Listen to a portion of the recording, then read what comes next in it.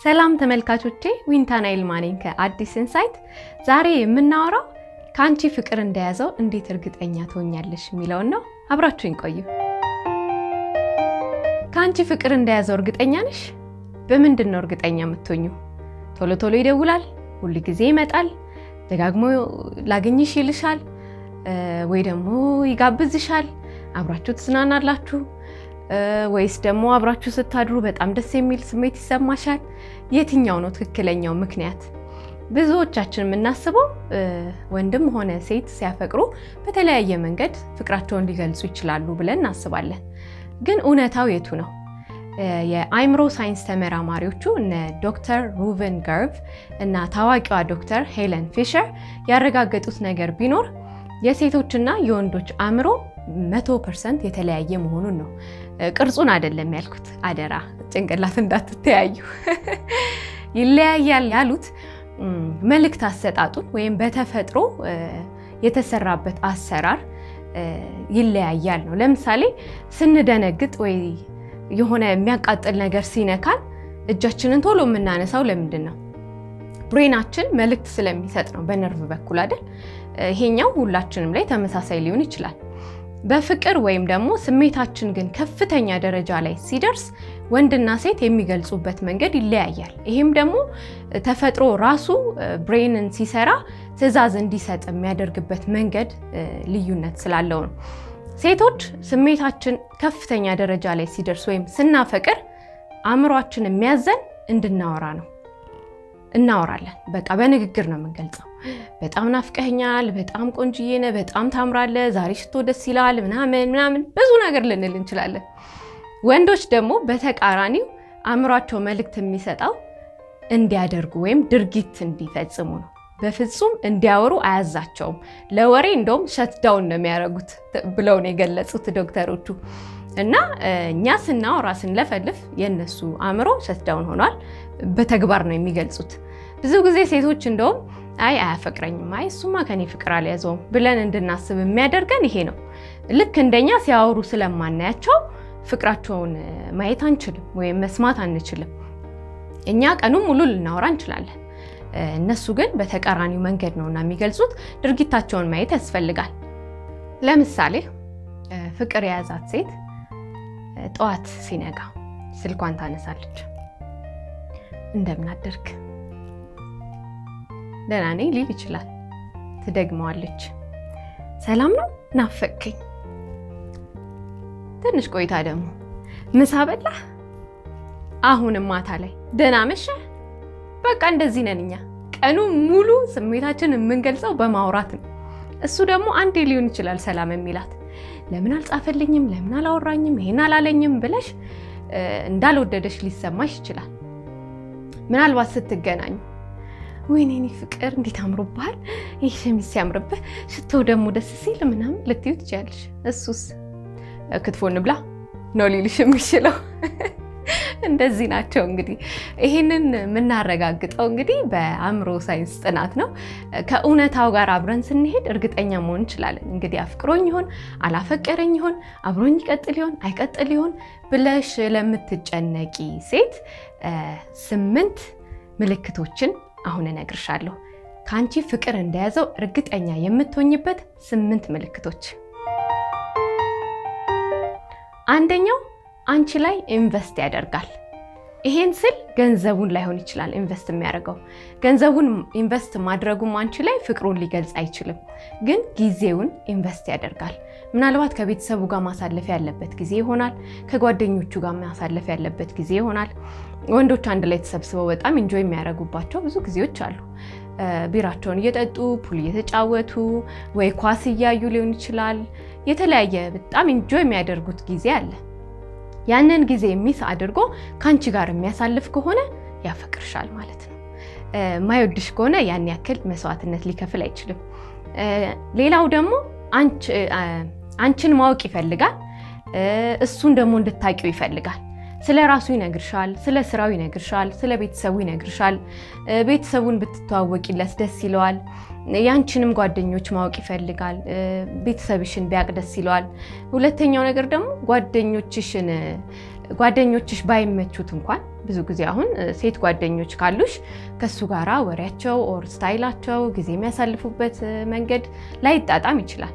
ግን አብሮሽ እንዲቆይ ከፈለግሽ አንቺን ለማስደሰት ወይም ለአንቺ ክብር ስላለው አብሯችሁ ሊቆይ ይችላል። ምንም ያክል ቢደብረው አንቺን ለማስደሰት ያን ያደርጋል። ሁለተኛው እንዳፈቀረሽ የምታውቂበት ምልክት የአንቺ ደስታ የእሱ ደስታ ይሆናል። አንዳንድ ጊዜ ወንዶች የሆነ የሆነ ነገር ሲያደርጉልን እንዲሁ attraction ኣችንን ለመውሰድ ወይም የኛን just ደስ እንዲለን አድርገን ልናስበው እንችላለን። ግን በተደጋጋሚ የሚያደርገው ከሆነ የእውነትም ለአንቺ ፍቅር ስላለው ነው። ወይ ደግሞ እሱ የሚያደርጋቸው ነገሮች ይኖራሉ። አንቺን የማያስደስቱሽ ከሆነ ግን አያደርጋቸውም። ቢያንስ አንቺ ፊት አያደርጋቸውም። ምክንያቱም አንቺ እንደማትወጁ ያን ነገር እንደማያስደስትሽ ካወቀ አያደርገውም። ካደረገው ግን ልትጠራጠር ይገባል። እንደውም አንቺን ማስደሰት የእሱ ደስታ እየሆነ ነው የሚመጣው። ልክ አንቺ ስትደሰቺ ከአንቺ በላይ እሱ ነው የሚደሰተው እና ይሄ ሁለተኛው ምልክት ነው። ሶስተኛው እንዳፈቀረሽ የምታውቂበት ምልክት ስትራራቁ ወይም አብራችሁ ባልሆናችሁበት ጊዜ ላይ ይናፍቃል ይናፍቅሻል። ያንቺ ናፍቆት ይኖርበታል። ይህን ደግሞ የምታውቂው ልክ እንደኛ እንደ ሴቶች ናፍቀሽኛል ወይ እያሰብኩሽ ነው እንደዚህ ነው ላይልሽ ይችላል። ባለበት ቦታ ሆኖ ግን አንቺ የሚያስቅሽን ነገር ወይ አንቺ የምትወጂውን ነገር ሲያይ እንደዚህ እንደዚህ አይነት ነገር እኮ አየሁ ብሎ text ሊያደርግልሽ ይችላል። ወይ ደግሞ እንደዚህ ደስ የሚልሽን ነገር እኮ በአጋጣሚ አንብቤ እስኪ አንብቢው check አድርጊው ሊልሽ ይችላል። ያን ማለቱ አንቺን እያሰበሽ እንደሆነ ማረጋገጫ ነው። ወይ ደግሞ በምትገናኙበት ሰዓት ላይ ስታወሩ ስትስቁ ምናምን ከዚህ በፊት ወይም ከአንቺ ተለይቶ በስራ ላይ ሌላ ቦታ እያለ ያጋጠመውን አጋጣሚዎች ሊያወራሽ ይችላል። እንደዚህ ሆኜ እንደዚህ አጋጥሞኝ የሚነግርሽ ነገር ግን አንቺን የሚያስቅሽ ወይም አንቺ በጣም የሚያዝናናሽን ነገር መርጦ ነው። ያ ደግሞ ልክ በዛ ሰዓት አንቺን እያሰበ እንደነበረ ማረጋገጫ ይሆንሻል ማለት ነው።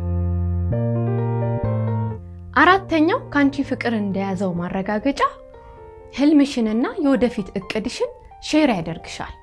በሀሳብ ሊሆን ይችላል፣ በገንዘብ ሊሆን ይችላል፣ የተለያዩ ነገሮችን በማቅረብ ሊሆን ይችላል። ያግዝሻል እንጂ በፍጹም ሊቀይርሽ አያስብም። አንዳንድ ወንዶች አብረውሽም ሆነው ስለ አንቺ ጉዳይ እነሱ ምንም የማያውቁት ጉዳይ ሊሆን ይችላል። የአንቺ እቅድና የእሱ እቅድ፣ የአንቺ ስራና የእሱ ስራ የተለያየ ሊሆን ይችላል። ግን ስለ ስራሽ ወይም ወደፊት እንደዚህ ማድረግ እፈልጋለሁ እንደዚህ ቢሆን እንደዚህ ቢሆን ብለሽ ስትነግሪው ፍቅር ከሌለበትና interested ካልሆነ ላያወራሽ ይችላል። ውይ እኔ ስለ እሱ የማውቀው ነገር የለም ወይ ደግሞ ሌላ ወሬ እናውራ ሊልሽ ይችላል። ወይም ደግሞ ለምንድን ነው እንደዚህ እያደረግሽ የምትደክሚው? ይሄኛውን ስራ አትመርጭም? ይሄኛው አይሻልሽም? የሚል ሀሳብ ይሰጥሻል። የሚያፈቅርሽ ወንድ ግን በፍጹም ሀሳብሽን አያጣጥለውም። እንደውም በተቻለው አቅም ይህን ብታነቢ ይህን ብታደርጊ ብሎ ሊያግዝሽ ይፈልጋል። አንድ ጓደኛዬ እንደሱ ያደርግ ነበረ። girlfriend ኡ movie ላይ መስራት acting መስራት ትወዳለች እና እሱ ደግሞ politics እና ኳስ ምናምን ነው የሚያስደስተው። በቃ በደንብ የወንድ ሀሳብ እንጂ ጭራሽ ሌላ የሚያዝናና ነገር ውስጥ ምንም የለበትም። እና script ስታጠና ምናምን እሱ ስለሚመቻት እስኪ ይህንን character ስሰራው እየኝ በእናትህ አንዴ ምናምን ትለዋለች። ቁጭ ብሎ ያያታል። አሁንም ደግሞ ሌላ ያናብባታል። ምን ይላታል? እንደውም ሳያውቀው ደራሲ ሁሉ ሊሆን script ሁሉ እየጻፈ የሆነ ጊዜ ላይ script ጀምሮ ሁሉ አሳይቷታል። እና በጣም የሚገርም ነው። ይሄም እሱ ስለወደደው ወይም interested ስለሆነ አይደለም። girlfriend ኡን ግን support ለማድረግ ያደረገው ጥረት ነው እሱን ራሱ ደራሲ ያደረገው። እና የሚወድሽ ወንድ የእውነትም ህልምሽን share ያደርጋል። እንዳፈቀረሽ የምታውቂበት ምልክት በግል ህይወቱ ላይ ወይ በጓደኞቹ ወይ በቤተሰቡ ወይ በስራው የሆነ ጉዳይ ላይ ብቻ important የሚለው ጉዳይ ላይ ለውሳኔ ያማክርሻል። ይሄ አሁን በጣም ያስደነግጣል። አንዳንድ ጊዜ ስለማይመለከተን ጉዳይ ሲያወሩ ምን አስቦ ነው? ምን አይነት አስተያየት ብሰጠው? ለምንድን ነው ይሄን የጠየቀኝ ልትይ ትችያለሽ። እንደውም አንዳንድ ሴቶች ኡፍ በእናት ስለዚህ ጉዳይ እንዳታወራኝ የማውቀው ነገር የለም ሊሉ ይችላሉ። ግን የእውነት ልታስቢበት የሚገባው እንዲህ አይነት ጉዳይ የሚያማክርሽ ሰው አጥቶ or ቤተሰቡን ማማከር አቅቶት ማንበብ አቅቶት ምናምን አይደለም። ያንቺ ሀሳብ important ስለሆነ ወይም ለአንቺ ሀሳብ ክብር ስለሚሰጥ ነው። ስለዚህ ብታዳምጪውና ምክሩን ምክር ብትሰጪው የበለጠ ፍቅሩን ማጣጣም ትችያለሽ። ምክንያቱም ለአንቺ ፍቅር ከሌለው አይደለም ስለ ቤተሰቡና ስለ ስራው ጉዳይ እንደው ተራም ነገር ቢሆን ጊዜ ሰጥቶ ላያወራሽ ይችላል። ስለዚህ ስለ ራሱ ጉዳይ ካወራሽ የእውነት ከአንቺ ፍቅር ይዞታል ማለት ነው። ሰባተኛው ከአንቺ ፍቅር እንደያዘው የምታረጋግጭበት ምልክት ይንከባከብሻል።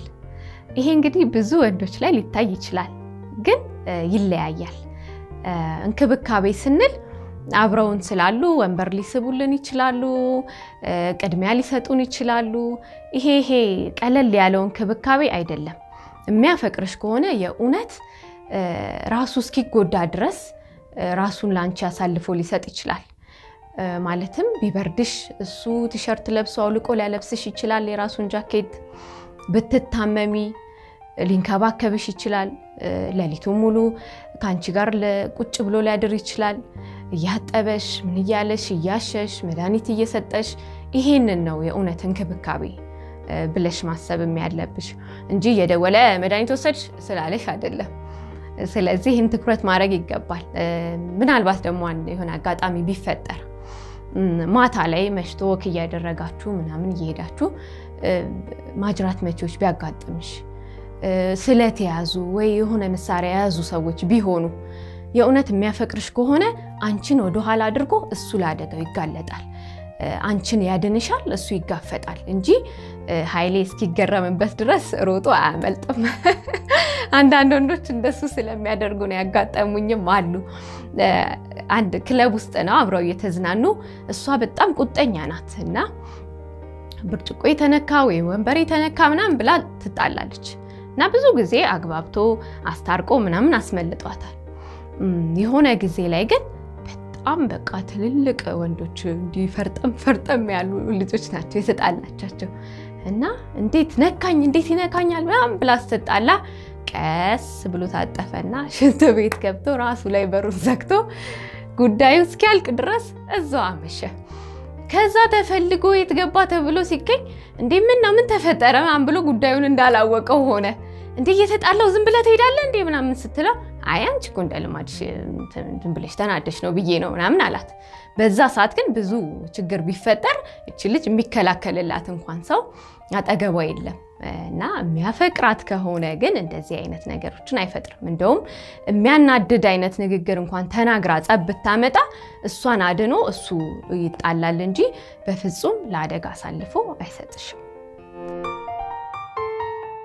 ስምንተኛውና የመጨረሻው ከአንቺ ፍቅር እንደያዘው የምታረጋግጭበት ምልክት ከሴክስ በኋላ ዞሮ አያንኮራፋም። ይሄ እንግዲህ ለብዙ ሴቶች እንዴ point ላይመስል ይችላል።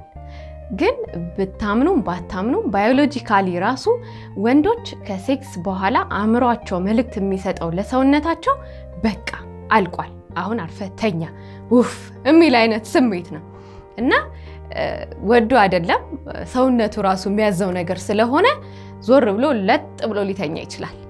የእውነት ግን የሚያፈቅርሽ ወንድ ያንን የሰውነቱን ነገር ተፈጥሯዊውን ነገር ተቋቁሞ ዞሮ የሚያወራሽ ፀጉርሽን የሚያካካሽ ስለነበራችሁ ጊዜ ምናምን ምናምን የሚያወራሽ ከሆነ በእውነት ያፈቅርሻል። ይሄ ትልቁ ማረጋገጫ ነው። ብዙ ወንዶች ይህን ማሸነፍ አይችሉም። ምክንያቱም መቆጣጠር ስለማይችሉ ነው። ድካም አለ ምናምን፣ ከዛ በኋላ በቃ አለቀ ነው። ትንሽ ጊዜ ቆይተው or ደግሞ ተኝተው ከተነሱ በኋላ ይሆናል ድጋሚ የሚያስቡት። ለዛች ደቂቃ ግን በጭራሽ ወሬ እንኳን ማውጣት አይችሉም እና ይህንን ተቋቁሞ የእውነት የሚያወራሽ ከሆነ ያፈቅርሻል። እንግዲህ point ኦቼን ወይም ምክሮቼን እንደተቀበላችሁ አልጠራጠርም። እሺ ተመልካቾቼ የዛሬን አበቃው። share ማድረግ subscribe ማድረግ ትችላላችሁ። እንደዚሁም ደግሞ ያላችሁን ሀሳብ በ comment መላክ ትችላላችሁ። እንድናቀርብላችሁ የምትፈልጉትም ነገር ካለ share አድርጉኝ፣ ሀሳብ ስጡኝ። ለዛሬ ሰላም።